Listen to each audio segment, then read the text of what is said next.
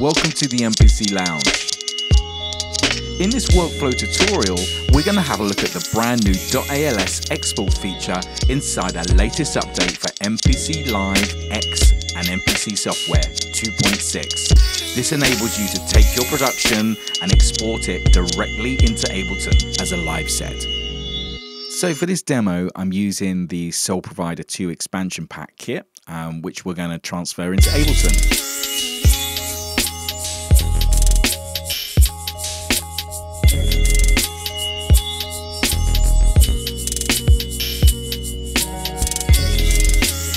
Now, the first thing I want to do is I want to separate my drums onto separate tracks. So if we go to our pencil edit icon and use explode track, this will instantly separate all of my drum parts onto their own individual tracks.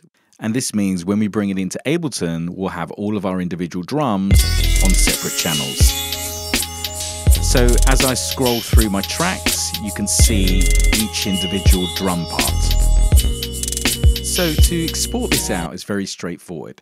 Let's navigate to our folder icon and then you'll see ALS export. So as soon as we select that, we'll have two options, either audio or MIDI. So we're going to go with audio and we're going to include our program volume and pan settings and we're not going to bypass our effects, run at 24-bit and 44.1.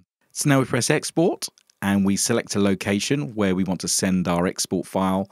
We then give it a name so let's call this Soul Provider 2 ALS.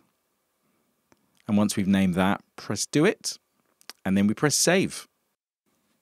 And now MPC is exporting all of our individual parts as an Ableton live set.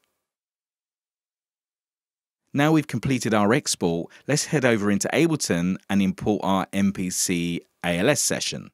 So now we're inside Ableton. Let's head up to Open Live Set.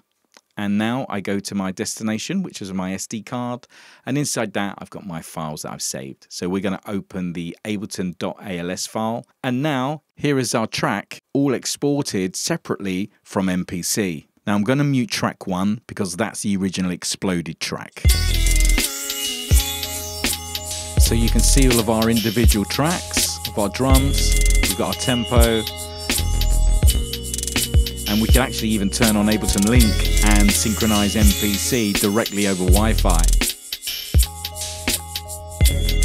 So this is an overview of the .als export feature for MPC Live X and MPC software. It's never been easier to move your projects directly into Ableton.